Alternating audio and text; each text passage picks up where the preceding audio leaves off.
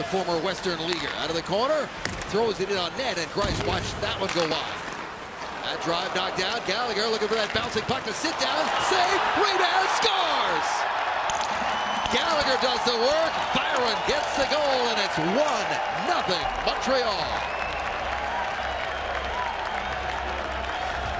Well, it all started with a New York Islander giveaway, which got them hemmed in their own zone in a very tired New York Islander group.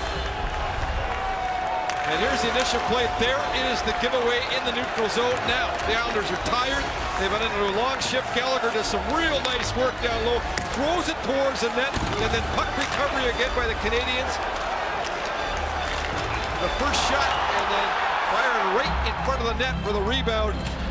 After Gallagher just twists and turns. Right pad save by Greiss. But good work by Byron to follow the play right towards the net. Stick down. Bang. 1-0 Montreal.